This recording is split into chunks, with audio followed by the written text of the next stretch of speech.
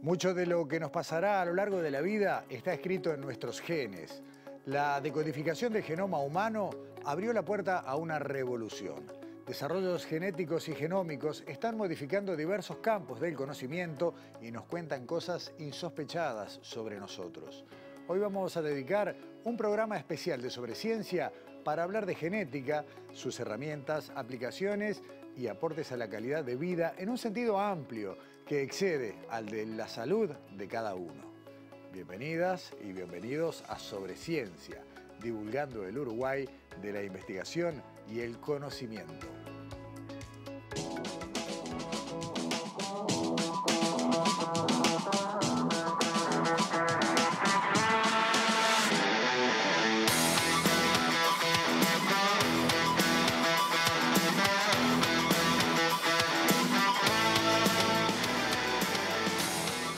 Información que guardan nuestros genes es gigantesca.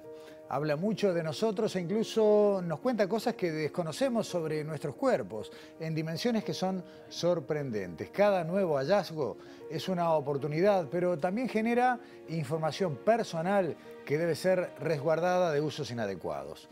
Vamos a profundizar en estas herramientas, test, diagnósticos y tratamientos desde una mirada local, describiendo que está a nuestro alcance desde Uruguay y también contando cómo se trabaja para garantizar su acceso amplio, pero evitando abusos y excesos.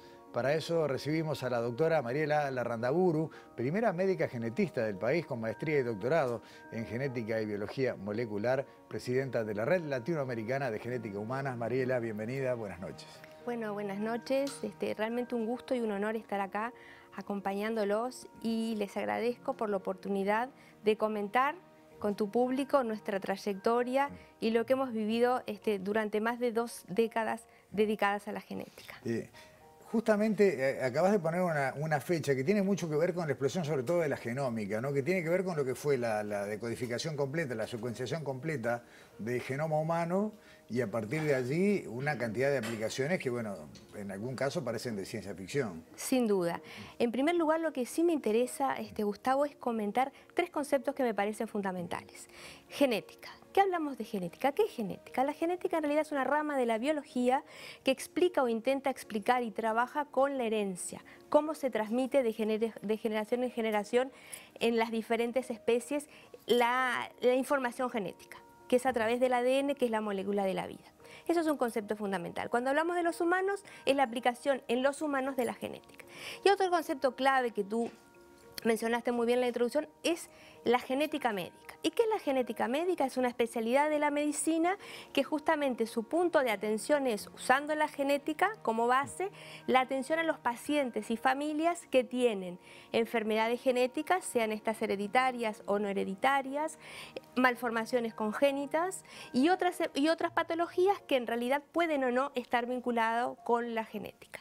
Y esto es el asesoramiento genético, que es la herramienta fundamental y la mejor forma de gestionar la clínica para conocer en profundidad las implicancias de las enfermedades genéticas. Y por último, pero no menos importante, el concepto de genómica médica. Y la genómica médica es lo que hoy está en la mesa de todos nosotros en el día a día, en la televisión y en la radio. ¿Por qué? Porque es el uso de las herramientas de biología molecular más avanzadas a servicio de qué? De la salud y la, la atención sanitaria. El COVID puso esto en la mesa, con lo cual a mí me deja muy feliz que estemos conversando en estos temas. Excelente. Sí, de todos modos, bueno, obviamente el COVID colaboró en, una visibilidad enorme de un montón de campos, pero lo cierto es que cada vez más para determinadas patologías, para esas que más nos preocupan, y estoy pensando, eh, por ejemplo, en las oncológicas o en otros trastornos de índole hereditario que aparecían como insuperables, eh, bueno, se van abriendo muchas veces expectativas o bien de una detección temprana, o bien incluso bueno, de, la elaboración de algún tipo de tratamiento o terapia que pueda revertir eh, este tipo de patologías, ¿no? Exacta, tu, tu, posición es correcta, estamos en el mes de la protección, ¿verdad?, del cuidado del cáncer de mama. Sabemos que el cáncer es una enfermedad muy importante en Uruguay, uno de cada cuatro uruguayos fallecen de cáncer y el cáncer de mama en las mujeres es el más importante. Sabemos que además cáncer de mama y ovario van juntos y esto es muy importante porque uno de cada cuatro cánceres de ovario son hereditarios. ¿Qué quiere decir que son hereditarios? Quiere decir que las personas tienen un gen ¿verdad? Cuya función está alterada y eso lleva al desarrollo de la enfermedad. ¿Esto por qué es importante el diagnóstico? Y tenemos esas herramientas. ¿Para qué? Tenemos herramientas para diagnosticar cuál de esos genes podría estar funcionando mal y actuar en forma precoz. En forma precoz, ¿qué quiere decir? Un seguimiento adecuado dedicado a esa paciente y a esa familia. No nos olvidemos que cuando nosotros hablamos de genética, hablamos de familias involucradas con esa persona. Y eso es un concepto fundamental de la genética la familia. El paciente es la familia.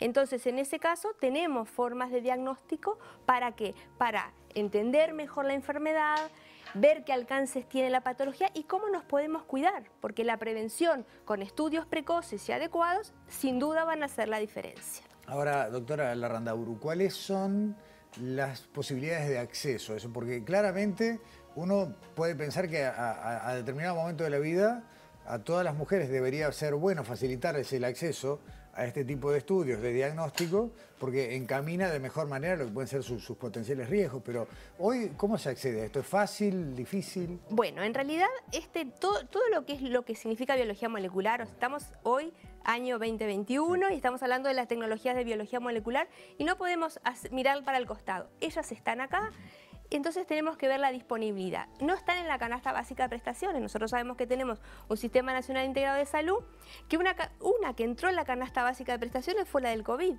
Esa del COVID son herramientas de biología molecular masivamente utilizadas y creo que vale la pena esto. En julio de este año había la misma cantidad de test moleculares que número de habitantes de Uruguay.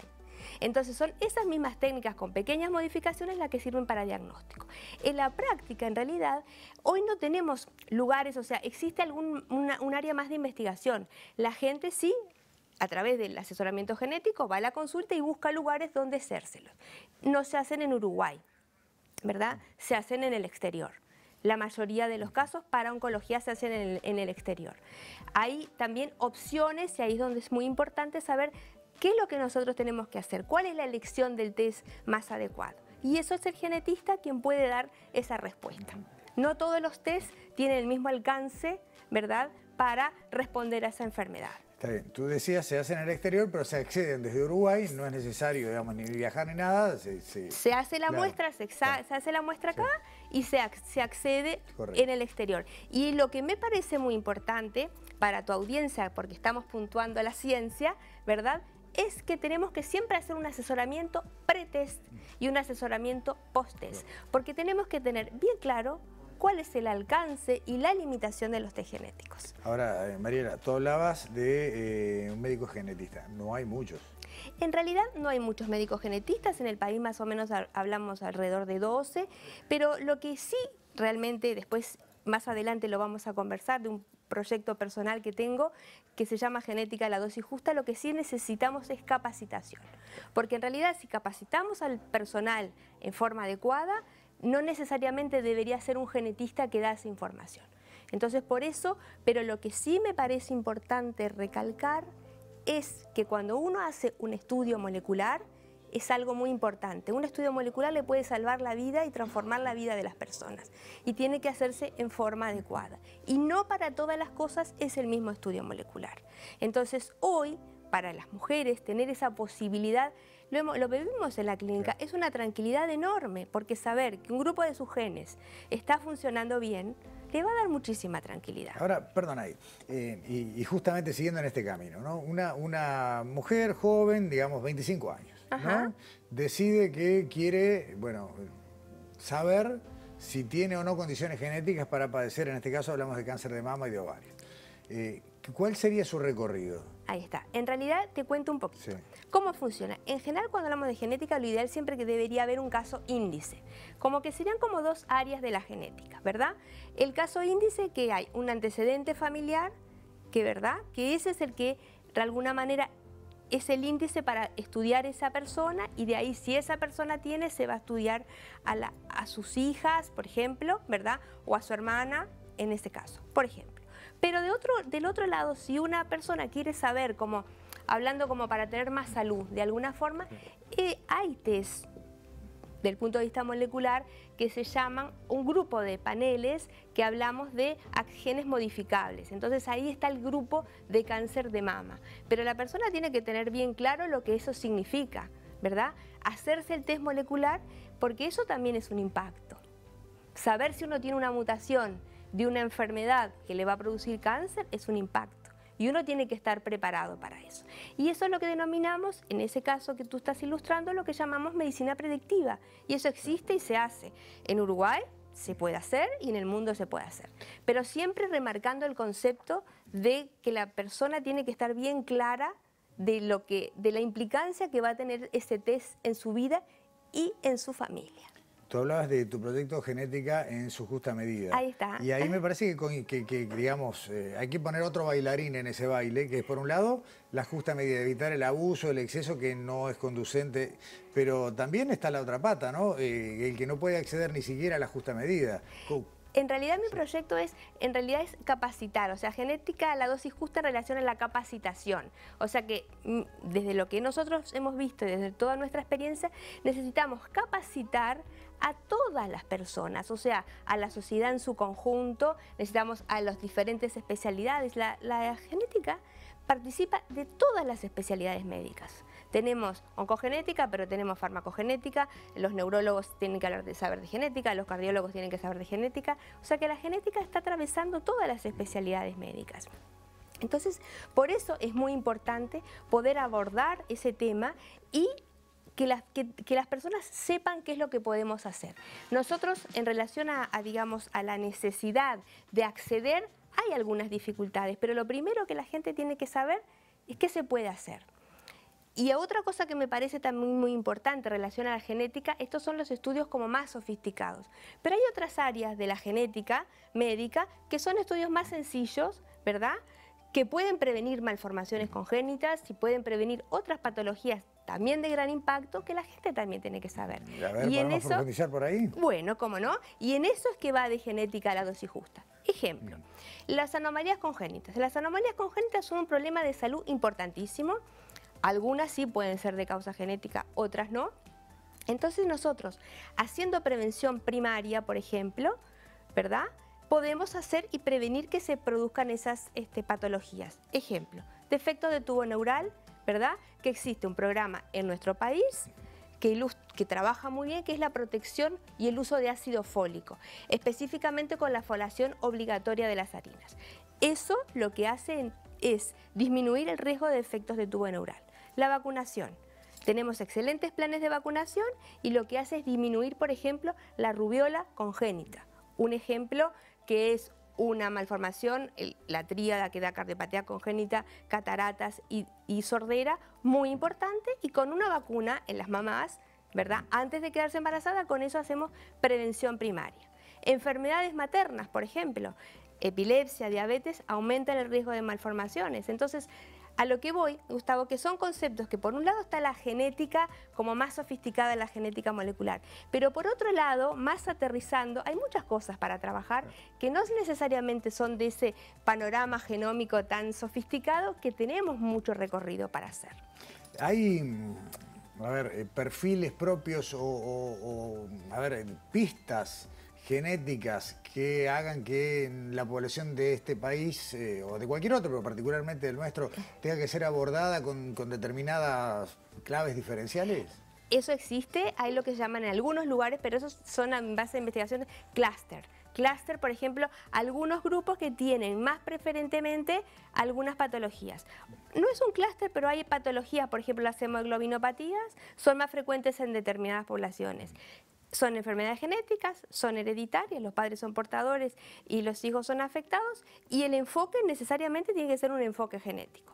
Entonces, en nuestro país, por ejemplo, no hay hasta ahora, por lo menos demostrado, hay quizás algunas sospechas, pero que algún lugar geográfico tenga más frecuentemente algún tipo de patología. Hasta ahora no lo hemos, este, no lo hemos investigado y no, no está demostrado eh, científicamente. Por ejemplo, lo que sí se ha visto en algunos lugares donde aumenta la consanguinidad, esto es que se, digamos, la gente, parientes más habitualmente, se casa, ¿verdad? Y tienen hijos, ahí aumenta los genes comunes y aumentan determinadas patologías vinculadas a la consanguinidad. consanguinidad. Pero en nuestro país hasta ahora no hemos tenido este, ninguna experiencia de ese tipo. Y por eso, volviendo a las malformaciones congénitas, son muy importantes los programas de vigilancia para poder identificar ¿verdad? aumento de, en algunas determinadas zonas, que hay alguna anomalía congénita y ahí poderla medir. Y también eso tiene que ver, y hoy sabemos, cuánto impacta los genomas. ¿verdad? El estudio de genómico en determinados este, lugares también va a ser importante para que, que son lo que va a dar exactamente el peso que tiene algunas variantes en cada población. Y por eso se están estudiando en, los, diferentes partes del mundo los genomas locales. Y ahí sí quizás tengamos la respuesta a tu pregunta. Esos estudios poblacionales nos permiten pensar, por ejemplo, que Uruguay tenga más frecuencia de tal cuestión y quizás por eso tengamos más cáncer de mama. Por ejemplo, que no lo sabemos, porque Uruguay tiene una población muy alta de cáncer de mama comparado con el mundo. Y quizás ahí, además de otras cuestiones como la alimentación y hábitos, pueden responderse. Investigaciones que eh, esperaremos que estén en marcha para volver a conversar porque creo que hay muchísimo camino por recorrer, eh, doctora Larrandaburu. Por hoy el tiempo se nos voló y le agradecemos muchísimo su presencia aquí en estudio. Bueno, muchísimas gracias. Este, quedamos, a, quedamos a la espera y de verdad agradezco enormemente la oportunidad de poder conversar de estos temas que importan y pueden hacer la diferencia. Hasta pronto, muchas gracias. Gracias a ti. Hacemos la primera pausa en Sobre Ciencia, ya volvemos con Alexandra Perrón y con Daniela Hilsfeld.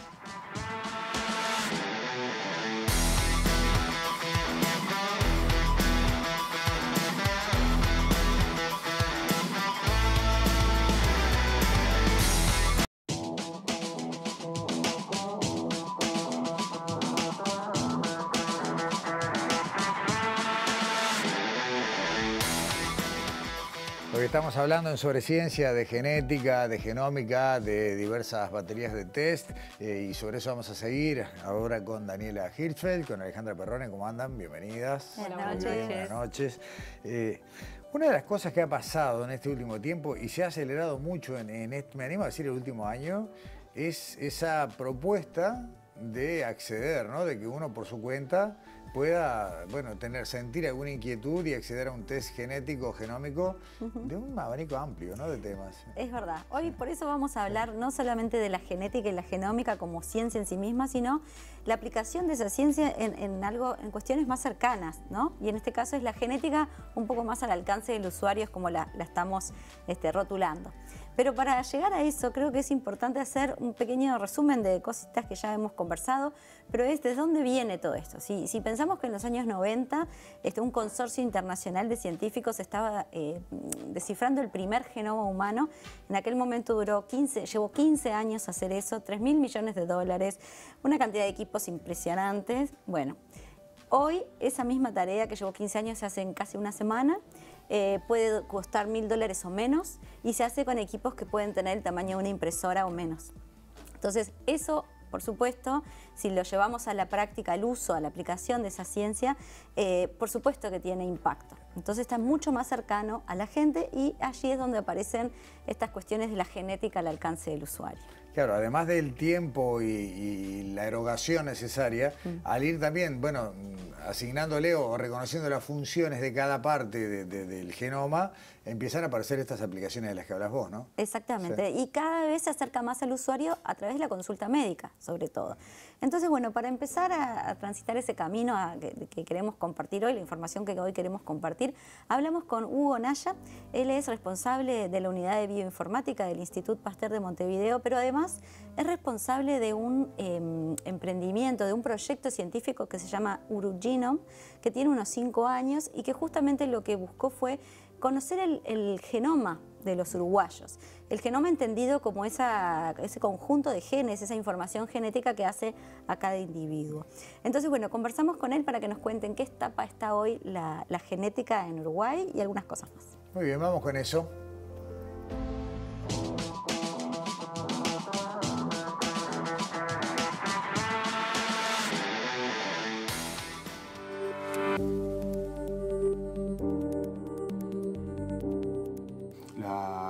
Ha evolucionado mucho, esencialmente eh, a finales del siglo XX, si bien es una ciencia que es desde comienzos del, siglo XX o finales del siglo XIX que existe.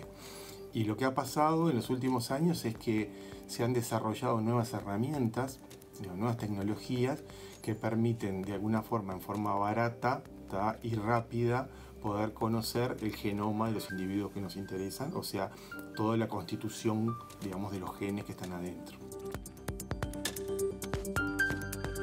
Dentro de las herramientas que, tenemos, que lo que ha cambiado sustancialmente al final del siglo XX y principio del siglo XXI, es la capacidad de secuenciar en forma masiva el genoma. ¿no? El, genoma humano, el primer borrador es del año 2002, ¿sí? pero en los años siguientes a eso multiplicamos por mil veces la capacidad de secuenciar en cuanto a tiempo y la reducción consiguiente de costos. Entonces, lo que para el primer genoma humano salió cerca de 3 mil millones de dólares, hoy podemos conseguir lo mismo y con más calidad en una semana y por mil dólares aproximadamente.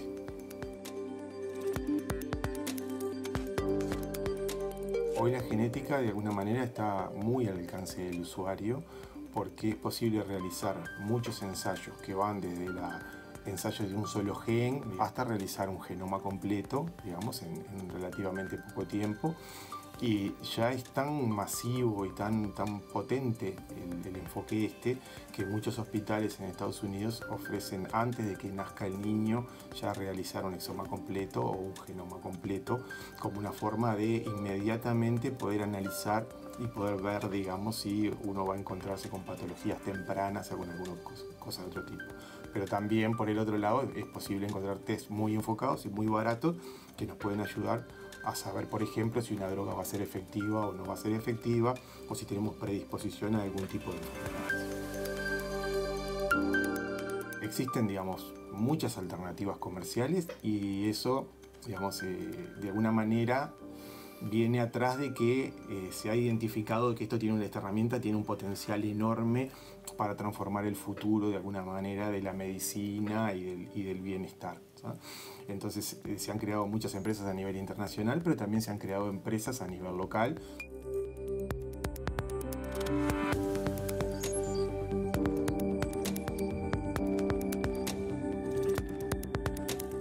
Bastante eh, comprensible. Creo que queda claro el tema a partir de esta introducción de Hugo Exacto, y ahí vemos cómo en Uruguay existe una comunidad de investigadores en el área de la genómica y la genética de hace décadas, una comunidad sólida que por supuesto ha desarrollado investigaciones en diferentes campos y, aplicaciones.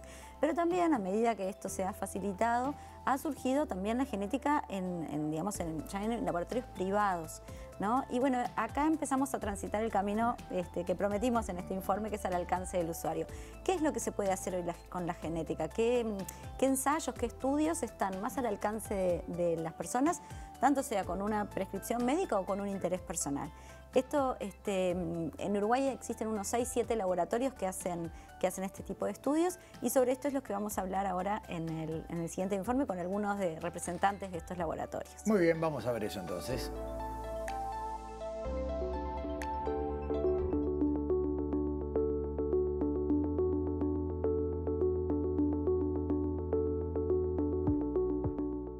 Sandra Feder, yo soy directora del laboratorio Genodiagnosis, un laboratorio que está en Uruguay hace casi 30 años.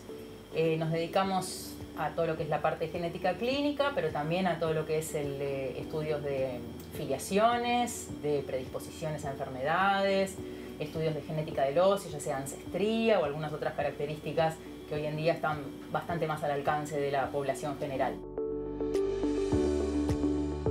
En los últimos años, en realidad, más o menos decir un número, cinco años podríamos decir, eh, los estudios genéticos se han acercado bastante más al cliente final y no solamente a través de un médico tratante. Por ejemplo, todo lo que es la parte de predisposición a enfermedades, la gente quiere saber si tiene más riesgo que otra de padecer cierta, cierta enfermedad y en base a eso poder cuidarse y prevenirla. Muy importante que nosotros como laboratorio de genética clínica seamos responsables y acompañemos a la persona que se hace esos estudios para que pueda hacer un estudio que realmente es necesario o realmente es lo que precisa y poder interpretarlo correctamente. Entonces, en ese trabajo de los últimos años, realmente hemos visto que ha crecido mucho el interés y el boca a boca como compañía de medicina diagnóstica, DASA es la más grande de Latinoamérica. Entramos eh, con DASA en Uruguay en diciembre de 2019 a través de la adquisición del laboratorio Genia. Tenemos un portafolio con alrededor de mil pruebas genéticas y ahí tenemos la posibilidad de auxiliar eh, áreas, especialidades dentro de la genómica, como medicina reproductiva, medicina fetal, enfermedades raras y neurología, cardiología, farmacogenómica, oncología y oncohematología. Dentro de las, de las pruebas que más tenemos volumen y que más direccionamos en los países es el, test que se llama NIPT, que es el test prenatal no invasivo, donde hacemos una toma de muestra de la mujer que está embarazada a partir de la semana 9 y a partir de ahí tenemos la información de riesgo aumentado no para determinadas condiciones genéticas. Este tipo de test como el NIP reduce eh, procedimientos invasivos que tienen un riesgo bajo pero que hay riesgos y disminuimos este tipo de, de test. DASA viene contribuyendo mucho con el aspecto de la medicina genómica a través no solo de ofrecimiento de pruebas genéticas, pero también eh, el lado de educación médica continuada para que los médicos también puedan asociar eh, sus especialidades con eh, la optimización del diagnóstico genético. Genera es una compañía, una startup que es especializada en genómica personal nosotros ofrecemos testes genéticos a toda la población y que se puede hacer de manera muy, muy sencilla comprando un kit de colección de muestra por la internet. Tú recibes el kit, colecta la muestra de la, la parte de la boca y regresa la muestra uh, para el, el laboratorio y, y, de ahí, después de dos o tres semanas, va a recibir muchas informaciones sobre su ADN. El test de Genera tiene tres partes distintas. La, primera parte se queda sobre ancestralidad, entonces el origen genética, eh, en esa parte se pueden encontrar parientes, entonces vamos a eh, comparar el ADN de una persona con muchas personas que hicieron el test para saber si hay parientes más lejos o mismo parientes más próximos.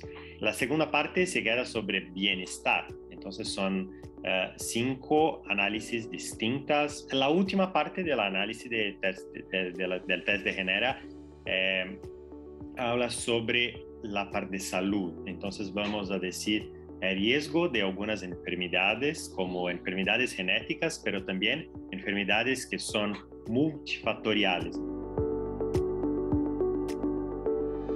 Saber un poco sobre su futuro y sus predisposiciones no es algo eh, que todos quieran. Muchas personas se quedan un poco eh, ansiosas sobre saber sus resultados, pero es importante saber que, que podemos cambiar mucho lo que, lo que está escrito en los genes.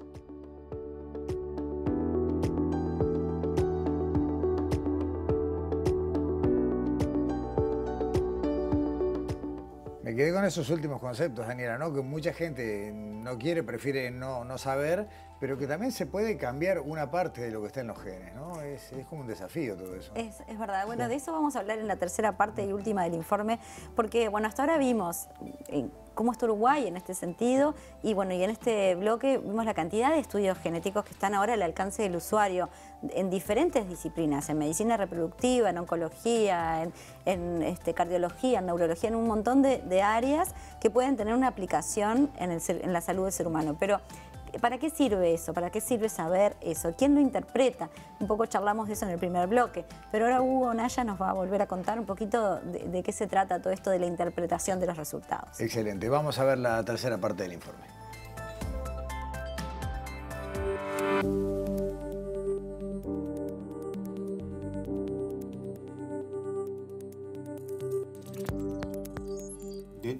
Posibilidades que uno tiene con la genética de conocer nuestro propio genoma o nuestro propio exoma y todavía es, una, es un tema, digamos, eh, debatido porque en realidad la información tiene al lado de que conocer cosas, digamos, yo tengo que estar preparado para entender lo que estoy conociendo, ¿no? Yo me hice el exoma hace muchos años, digamos, y bueno, está, y, y, tengo una visión de lo que puedo tener y lo que puedo no tener en un principio con, determinación genética. ¿no? Creo que con el paso del tiempo vamos a ir casi todos los que podamos de alguna manera hacia tener el exoma, porque es una información más es como tener un chequeo médico general de algo. O sea, uno no va al médico a hacerse un chequeo porque siempre porque está mal. Se va a hacer el chequeo porque quiere prevenir y quiere entender dónde está parado. El tema de la interpretación de los datos es un tema eh, relativamente complejo y que se precisa capacitación.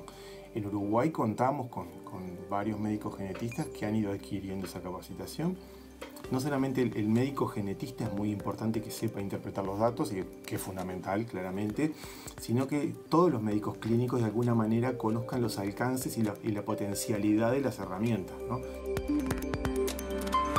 Falta formar muchísima gente porque creo que en un futuro cercano va a ser una herramienta común a todas las disciplinas. ¿no? Para casi todas las disciplinas existe algún aporte posible de la genómica y es muy importante que el médico lo entienda para poder transmitírselo al paciente muchos de estos ensayos son dependientes de la población.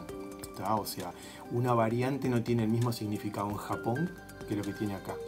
Puede ser patogénica en Japón, pero no acá. Conocer cada población es fundamental. Y ahí Uruguay claramente puede aportar con respecto a la, a la población nuestra. Por otro lado, digamos, una de las cosas interesantes de esto es que con el paso del tiempo, a medida que acumulamos datos y que empezamos a incorporar más datos a las bases de datos, podemos predecir mejor la significación de cada una de las variantes que hay en los exomas. Eh, yo creo que claramente es, una, es un cambio de paradigma en lo que hace a la salud y que va a ofrecer, digamos, muchos, muchos puestos de trabajo novedosos.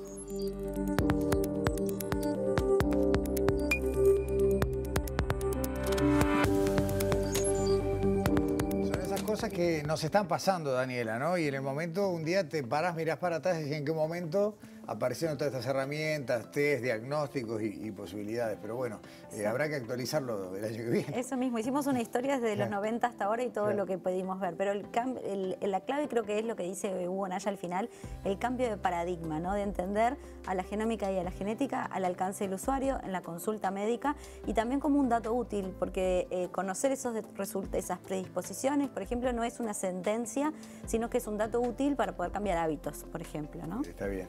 Eh, vamos a dar vuelta el eje, seguimos hablando de genética, seguimos hablando de aplicaciones de herramientas, pero vamos a hablar del combate al delito, ¿no? O algo mm, que va por ese lado, Alexandra. Y, también en esto de que la genética está en, la sociedad y, al alcance de todos, cerca de todos, ¿no? Bueno, nosotros quisimos conocer el Registro Nacional de Huellas Genéticas. Esta es una dependencia de la Dirección de Identificación Criminal, que depende de la Dirección Nacional de Policía Científica del Ministerio del Interior. Y bueno, hablamos con Natalia Sandberg, ella es magíster en ciencias biológicas, es la encargada de este, de este laboratorio, de este Registro Nacional de Huellas Genéticas, que se creó en el año 2011 bajo la ley 18849 y tiene como cometido formar un banco de registro de huellas genéticas de todos los procesados con y sin prisión del país. Bueno, ella nos cuenta ahora en el primer tape, nos decía que uno de los principales objetivos que tiene justamente es el esclarecimiento de casos forenses y bueno, nos cuenta en el primer tape cómo se creó este laboratorio y cómo funciona, cómo trabajan en él. Dale, dale, buenísimo, vamos a verlo.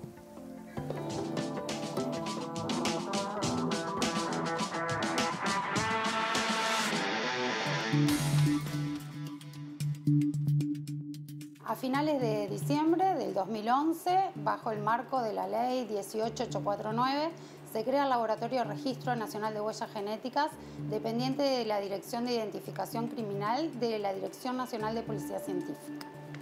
Y empezó básicamente a funcionar todo el año 2012 y 2013 no estaba creado en sí ediliciamente el laboratorio, sino que nos dedicamos a eh, tomar la muestra de ADN de mucosa yugal a todos los procesados con y sin prisión del país. Entonces, una vez que teníamos toda esa población carcelaria del 2012 y 2013, a partir del año 2014 fue que se creó el laboratorio, eh, se creó todo lo que es toda la tecnología y ahí empezamos a hacer el procesamiento de lo que es las muestras de ADN. Los cometidos principales que tiene este laboratorio es, obviamente, el primero y el más importante es la resolución de casos forenses. Siempre que haya un hecho criminal y haya una evidencia de un caso que no ha sido resuelto, lo que buscamos es la confrontación con la base de datos criminal y la búsqueda de macheo. ¿Qué quiere decir búsqueda de macheo? De encontrar a la persona que forme parte de nuestro banco genético criminal que haya dejado su ADN como evidencia en ese hecho que se está investigando. ¿Qué pasa cuando el laboratorio biológico obtiene un perfil genético, pongámosle de una sangre, de una evidencia de un, caso, de un hecho? Ellos si tienen sospechosos, podrían hacer la comparación. Si esos sospechosos coinciden con ese perfil genético, el caso queda resuelto.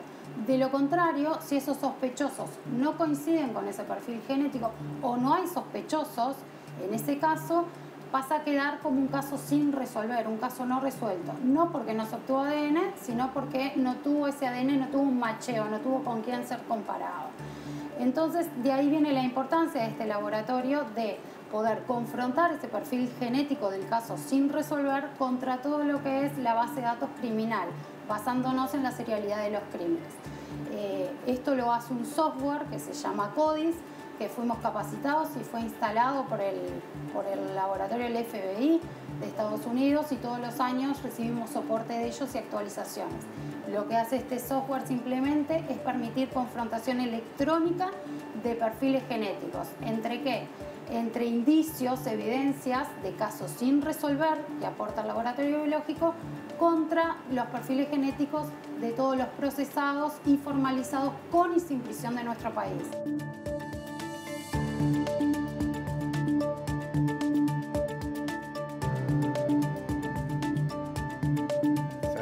Pensaba eh, hace 100 años, tal vez, un poco más, un poco menos, la revolución fueron las huellas digitales y habrá sido toda la incorporación de esa tecnología y bueno, ahora estamos en este paso. Sí, claro. Bueno, Natalia nos contaba también que otro de los grandes objetivos de este Registro Nacional de Huellas Genéticas es el, Banco de Registro Genético de Familiares de Personas Ausentes, que este, este, este banco funciona bueno, a través de Interpol y bueno, lo que hacen ellos es confrontar justamente la información genética de los familiares de personas ausentes, como por ejemplo restos, restos humanos. ¿no? Bueno, también nos cuenta en el próximo tape, eh, nos da cifras desde la creación de este laboratorio hasta nuestros días y nos cuenta con qué tecnología cuentan. Excelente. Vemos la segunda parte entonces.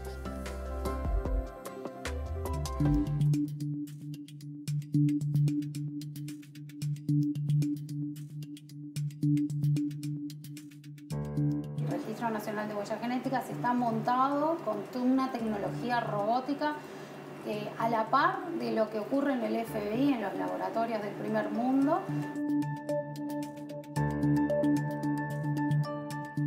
Nosotros con el uso del software, como este software hace confrontaciones electrónicas de perfiles genéticos, también le podemos dar eh, otra funcionalidad y es por ello que a finales del 2018 logramos hacer un convenio con Interpol, con el Departamento de Registro y Búsqueda de Personas Ausentes, para darle la posibilidad a todos los que son familiares eh, que tienen personas desaparecidas de poder acercarse a nuestra institución gratuitamente y por voluntad propia. Pueden venir, dan su muestra de ADN y allí lo que nosotros hacemos es crear un banco genético no criminal, sino de familiares de personas ausentes con el único cometido y el único fin de ser confrontado este banco de familiares contra restos humanos sin identificar que fueron apareciendo. Es por ello que nosotros tenemos aproximadamente 90 restos humanos que al día de la fecha no están identificados y periódicamente vienen estos familiares y dan su muestra de ADN y gracias a ello, gracias a la confrontación que hace el software, hemos podido identificar cadáveres que no se sabían quién era y le podemos devolver a esas familias esas personas ausentes y darle un nombre, un apellido a, esas, a esos desaparecidos.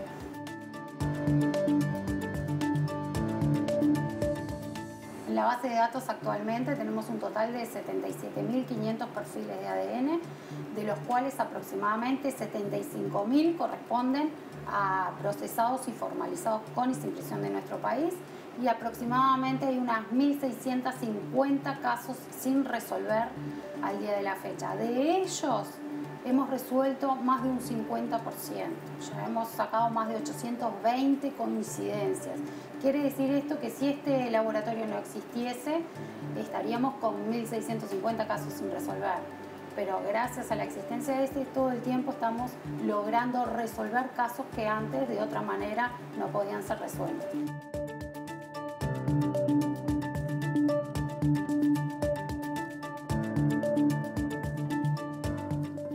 Películas, Alexandra. ni más ni tal menos. Cual, Tal cual como, las películas, como lo, que vemos en, las series también. Bueno, nos contaba Natalia que algo muy importante, que ellos trabajan con, con códigos alfanuméricos asociados a perfiles genéticos, no trabajan ni con nombres ni con apellidos, ¿no? Y bueno, también nos decía que, bueno, que cuando hay una evidencia de, con, con un perfil genético, lo que se hace es repetir el proceso nuevamente, o sea, para descartar cualquier, cualquier tipo de error eh, en ese camino. ¿no? Y bueno, en el último tape nos amplía más detalles de cómo, de cómo trabajan en este laboratorio. Excelente, lo vemos.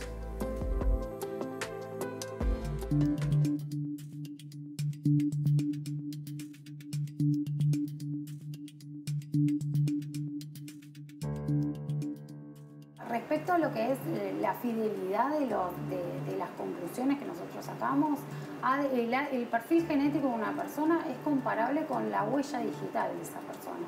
Es única de cada persona. A nivel criminal, de identificación criminal, lo único que nosotros no podemos discernir es entre gemelos univitelinos. Con los kits comerciales que nosotros analizamos para lo que es la identificación forense, no tenemos manera de discernir entre gemelos univitelinos, o sea, gemelos reales, no mellizos.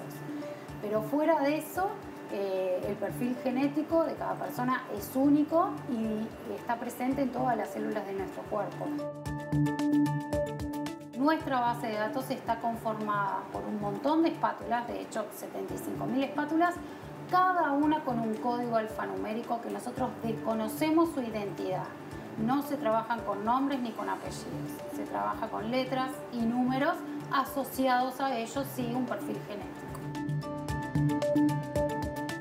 Por lo general nos entran aproximadamente unas 1.200 espátulas con muestra de mucosa yugal mensualmente. Entonces nosotros nos tomamos el, el tiempo dentro del mes para ir cumpliendo distintos procesos en las etapas de lo que es desde la extracción hasta el análisis de ADN e incorporación de los perfiles genéticos en la base de datos. Esto se le llama un electroferograma en donde consta todas las regiones del ADN que estamos yendo a investigar y que queremos tipificar, genotipar. El conjunto de todos estos sectores de ADN analizado es lo que va a formar el perfil genético de esa persona. Ese perfil genético va a estar asociado a un código alfanumérico y con un pendrive esta información se va a cargar en el software CODIS para formar parte de la base de datos criminal y posteriormente hacer la búsqueda de confrontaciones.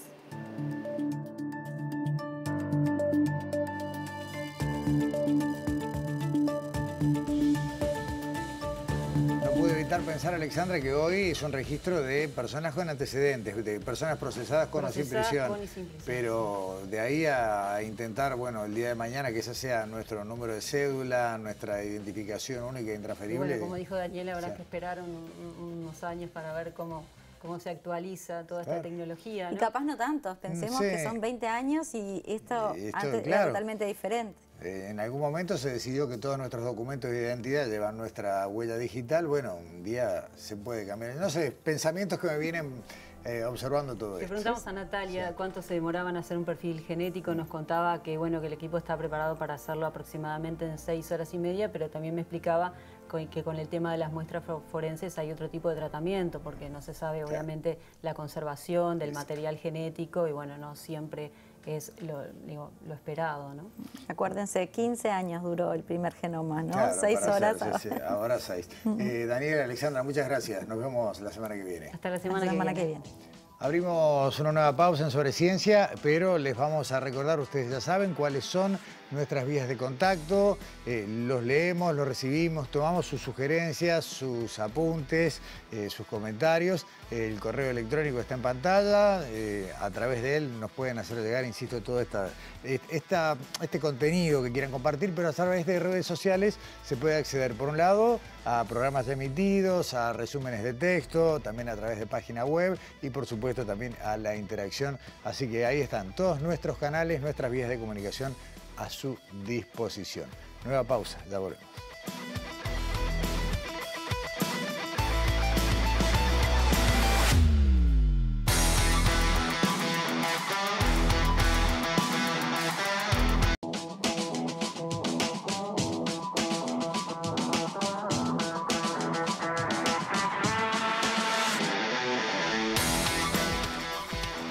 Estamos hablando de genética, de genómica, de usos, de aplicaciones, de cómo esto ha venido a cambiar, entre otras cosas, la manera en la que bueno, podemos conservar nuestra salud o tratarla cuando la salud sufre un quebranto.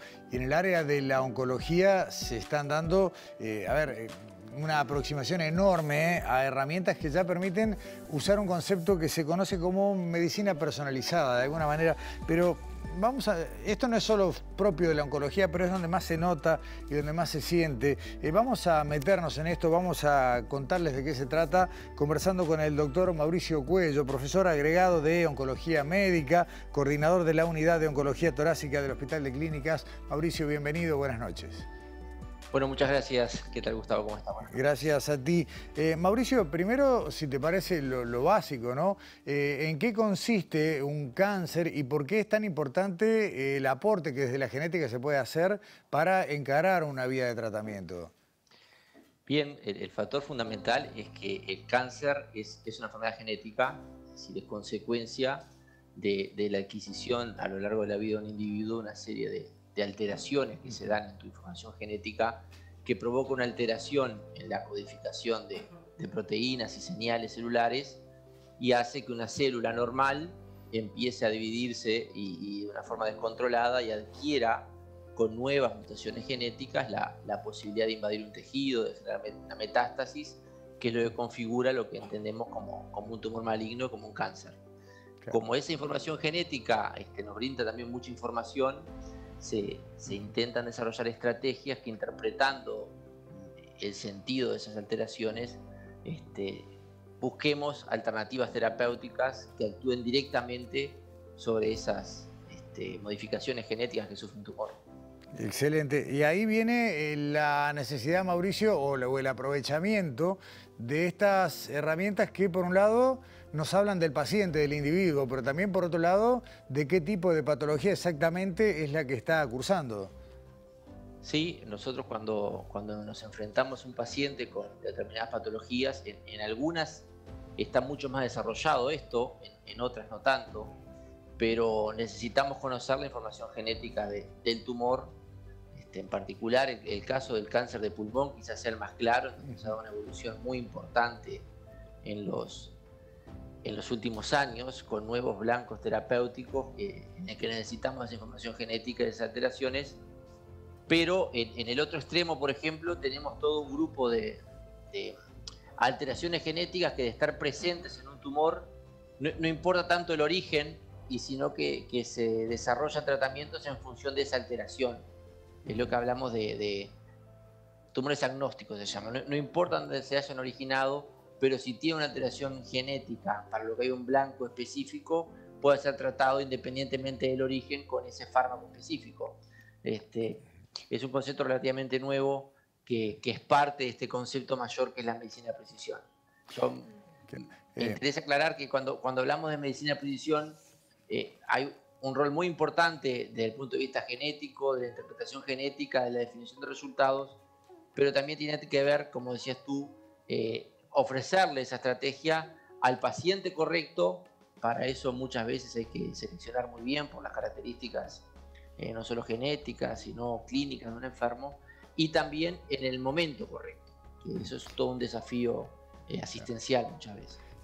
Mauricio, a ver, si, si, entiendo bien el proceso, digamos que eh, una vez que el paciente, bueno, tiene una detección de una enfermedad oncológica, ustedes determinan si, bueno, amerita hacer este perfil genético, tanto del paciente como del tumor. Y a partir de allí, con ese resultado, se, y no sé si la palabra correcta es, diseña un tratamiento específico para ese individuo. Sí, este, nosotros, por ejemplo, vuelvo al cáncer de pulmón, que es, que es el ejemplo más claro, como comentaba previamente. Eh, nosotros a, un paciente le tenemos que ofrecer un panel de genes para los que hay ya fármacos activos y desarrollados que han demostrado un beneficio terapéutico importante. Entonces, hace 15 años, en el año 2004, para ser más exactos, la información que necesitábamos de un cáncer de pulmón era saber si era de célula pequeña o de célula grande. Y hoy por hoy lo, lo que hacemos es mm, testear a los enfermos buscando toda una serie de mutaciones, si va a ser sensible a la inmunoterapia, si va a ser sensible a determinados inhibidores de, factores de crecimiento epidérmico, traslocaciones de ALK, de ROS1, de diferentes alteraciones, cuyo tratamiento supera ampliamente el beneficio que se puede lograr, por ejemplo, con una quimioterapia convencional, como hacíamos hace, hace 20 años. Este, entonces, ese es un poco el enfoque que realizamos ahora para el cáncer de pulmón y también para otras patologías este, que se benefician claramente de esa estrategia. Mauricio, ¿cuánta, ¿cuánto cuesta? O, la pregunta no es esa, ¿cuánto, ¿cuán al alcance de la gente está este tipo de, primero de, diagnóstico y después de tratamiento? Es, es una pregunta eh, bastante compleja porque a lo largo de los últimos 20, 40 años quizá, porque fue ahí donde se empezó a secuenciar el ADN, el, costo de desarrollar una estrategia de este tipo ha pasado de los millones de dólares a unos, unas centenas, quizá a algunos pocos miles, lograr una información de, valor clínico este, de una forma factible y rápida para los enfermos, este, con, estrategias de secuenciación masiva se puede lograr, por ejemplo, la secuenciación de 700, 800 genes de una forma relativamente rápida y un costo relativamente bajo. El tema que más allá de, del costo, el, acceso es un fenómeno más complejo que va un poco más allá de lo que es la cobertura de una prestación. Y para que los pacientes accedan, tiene que funcionar muy bien toda la cadena asistencial para que eso sea con equidad y los enfermos lleguen. El, cáncer en particular es una enfermedad muy sensible a, alteraciones en la secuencia de, de los procesos diagnósticos y terapéuticos, en donde si uno tiene muy fragmentado el proceso de cuidados, en ese tiempo los pacientes pueden perder la oportunidad de, beneficiarse de estas estrategias. Entonces, es muy importante que el progreso se dé en todos esos factores. Mejorar la gestión clínica de los casos, mejorar el acceso a estos enfermos y cuando encontremos una alteración blanco, de alguna forma poder brindarle en tiempo y forma esos tratamientos. Hoy obviamente este, es mucho más accesible que hace 20 años, como te, decía al principio. En el Uruguay están disponibles los test. Eh, también los fármacos, pero tenemos espacio para mejorar en, mejorar, en, lograr una mejor cobertura. Perdón, Mauricio, cuando, este cuando dice que están disponibles los fármacos es porque tienen cobertura del Fondo Nacional de Recursos, ¿no? Algunos sí, otros no. Eh, por ejemplo, Uruguay tiene cobertura para pacientes que expresan altos niveles de PDL1 y son candidatos a, inmunoterapia. Eh, en Uruguay eso está cubierto y sin costo y este, en casa de pulmón específicamente. ¿no? Está cubierto también, por ejemplo, el tratamiento para los inhibidores del epidemiológico factor receptor, los inhibidores del GFR. También hay este, en, otras áreas patológicas financiación para, para varias drogas, pero mm, hay un camino para recorrer todavía porque hoy por hoy la utilización de inmunoterapia es universal. Casi que todos los pacientes podrían ser candidatos, en el caso de cáncer de pulmón, a tratamientos inmunoterápicos. Mauricio, en los últimos 30 segundos, porque ya estamos al borde del tiempo, eh, cuando tú hablabas de las diferencias de acceso y de lo que mejor tenemos por delante, eh, tenemos un claro sesgo, ¿no? Por un lado geográfico y por otro lado también de alguna manera vinculado al prestador de salud. Sí, las enfermedades en general, las oncológicas en particular, son, son construcciones sociales, lo, digo siempre, y son muy sensibles a, las diferencias que tenemos las personas en, en esos factores que de alguna forma también eh, comprometen el acceso más allá de que esté cubierto en Uruguay en, las prestaciones oncológicas del Fondo de Recursos. Nosotros vemos una diferencia muy importante del acceso en función de la región y en la función del prestador, es decir, no es lo mismo el acceso a una institución pública que una institución mutual, que una institución privada. Este, vemos que hay un, degradé, digamos, en donde los pacientes que son instituciones privadas acceden al mayor porcentaje de instituciones públicas, los que son de Montevideo acceden al mayor porcentaje del interior, y eso es algo en donde hay mucho espacio para mejorar, y, es el desafío que te decía de resolver cuestiones propias de la fragmentación del proceso de cuidados, de acceso a grupos de referencia, de manejo de los tiempos de acceso a los tratamientos y, estudios diagnósticos. Si realmente tenemos en el Uruguay, en esa área, un, camino para recorrer. Que se ha hecho mucho, que pocos países tienen fondo de recursos, que pocos países tienen acceso a, este fármaco, a estos fármacos de forma gratuita, pero no, no podemos conformarnos y hay que seguir trabajando en esa área. Mauricio Cuello, profesor agregado de Oncología Médica, muchísimas gracias por acompañarnos en Sobre Ciencia esta noche y la seguimos. Por favor, gracias a ustedes. Hasta, pronto. Cerramos hoy, nos vamos a contándoles, mostrándoles lo que pasó del 3 al 15 de octubre, que se desarrolló Ingeniería de Muestra. Fue la decimotercera edición. Esto se organiza por parte de Facultad de Ingeniería, también de la Fundación Julio Ricaldoni. Hubo un lema, un tema central para este año, Ingeniería en todas partes. Eh, hay un resumen de lo que pasó, eh, es siempre muy entretenido, este año combinó actividades virtuales y algunas presenciales. Nos vamos mostrándoles qué fue eh, de la edición de este año de Ingeniería de Muestra y nos vemos la semana que viene.